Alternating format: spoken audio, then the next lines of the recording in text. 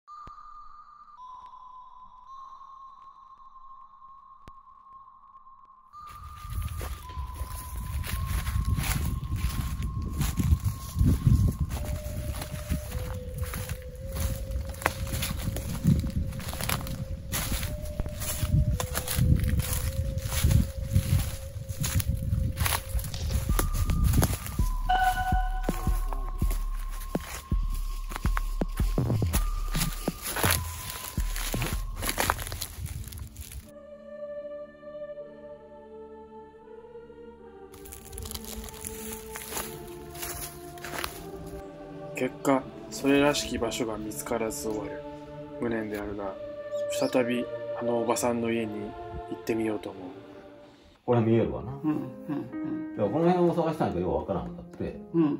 こっちなんかなこっちなんかな、旦那も増えとるじゃろうか。よいしょ。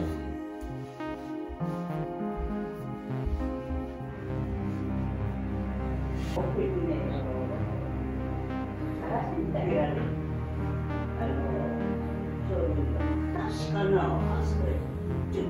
そ。しておばさんは40年前以上に行った貞子のお墓を案内してくれたそれは我々が通り過ぎた場所であった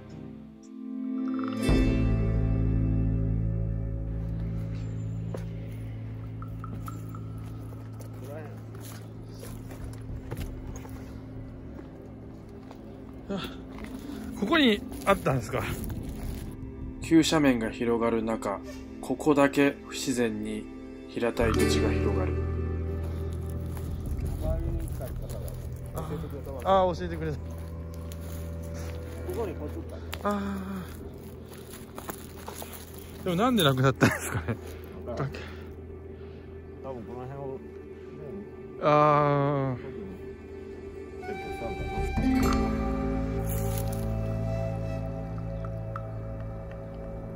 最終的にちょっと不明になってしまったけどあそうですね。なんかここにあったりこれは確実なの確実な。も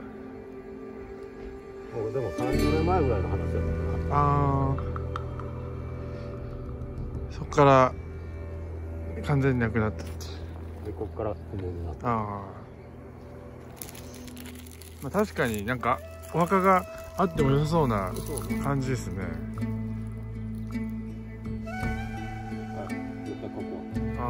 ちっちゃい石みたいなのがあったわけ。です小さいわ高橋さんのああはいはいはい。結局謎のままここからは、えー解明できずと。最終的には。ただ実際にはあったと。あったと。これはあの事実の。はい。当時お参りに来た方から教えてもらった場所だ。そうなんですね。ちょっと。はい。ちょっと残念ですけど残念です最後やっぱり謎の人です。そしてもう一つ。新しい発見があった。貞子のお墓から少し離れた場所に貞子の母親のお墓があるというのだ。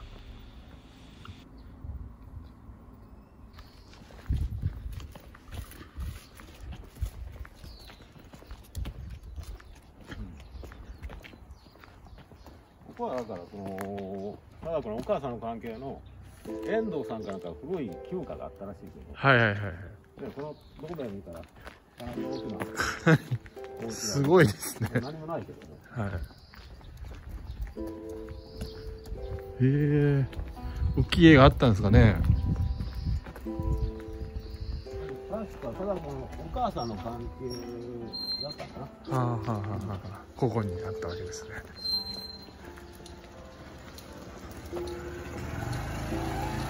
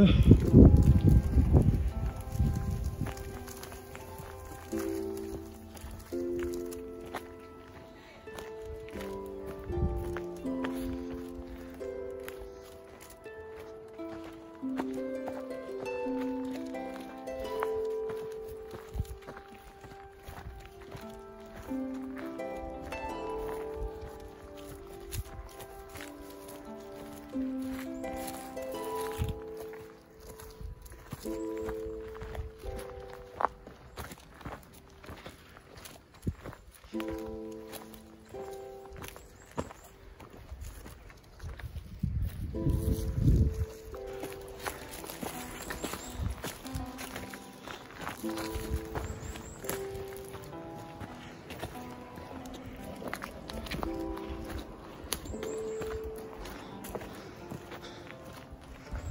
てます。はいはいはい。万代滝さん。はい。72歳。で亡くなっうん。これお母さん。貞子さんのお母さんの墓。あとは全部長瀬の墓。なんでここやポツッとあるかそうですね。なあとあと見たら貞子のお母さんのお墓でした。なるほど。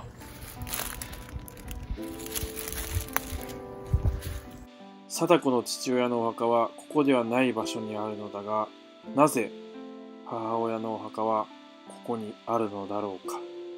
謎である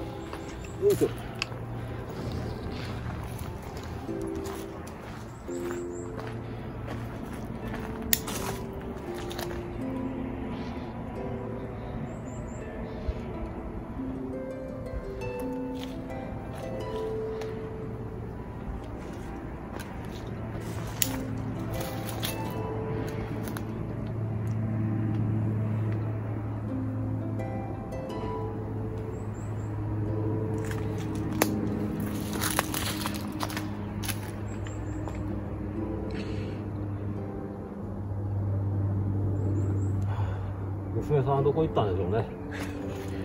そうですね。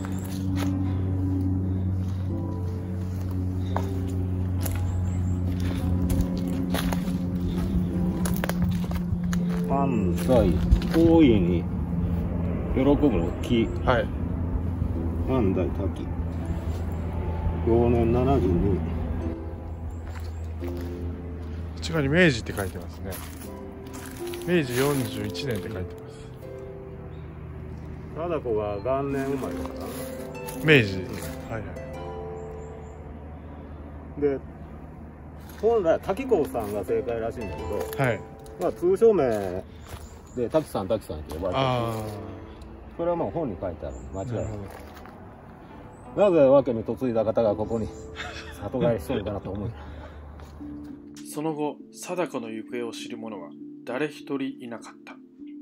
今回の調査で貞子の父や母のお墓はそれぞれバラバラであり不明の点が多く残る。貞子のお墓があったとされる場所も土地開発により完全になくなってしまった。それが貞子が望むメッセージなのかもしれない。そして我々はこれからも貞子の行方を探っていこうと思う。